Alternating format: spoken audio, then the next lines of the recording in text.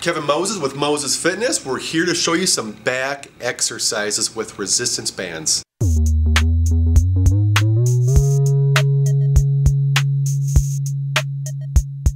The first exercise we're going to do is a standing row.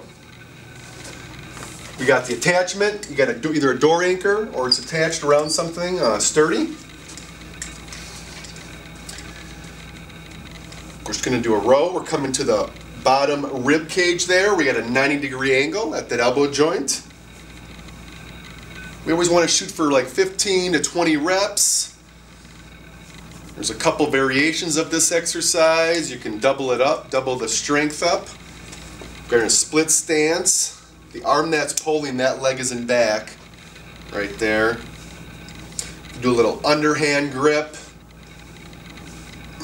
overhand grip. It's different parts of the rotator cuff as well when you're doing that. Got the lats, rhomboids.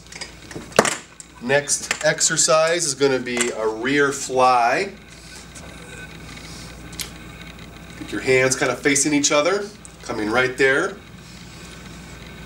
Chest up, knees are bent slightly. Good. And if you're doing these back to back, they're gonna back to back to back, right? They're gonna definitely work that back muscle very nicely, okay? The next one is gonna be a lat pull down.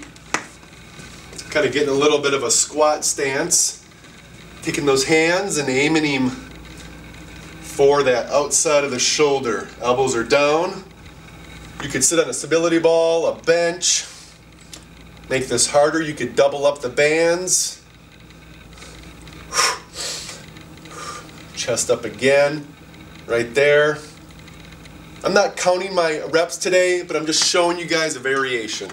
Okay, now we're gonna do a straight arm pull down. This is very specific, but this working the lats. I don't wanna come up here and take that tension off that lat. I wanna come right here, coming up. It's not a tricep, you might feel some in the tricep, but you wanna really push the chest out and focus it on the lats. Looking good. The next one is a pull apart. You got a free, free band here. I'm gonna wrap it around and you're gonna do a pull apart, keeping those wrists nice and straight. See how that's done? This is working the rear delts and upper back area.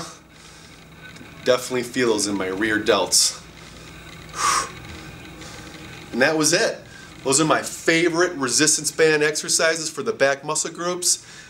Please try those out, check those out. If you do all those in a row, I guarantee you're gonna have a sore back the next day. Rear delts, lats, rhomboids, traps. Great exercises. Thanks again. Hope you have a good workout. Out later.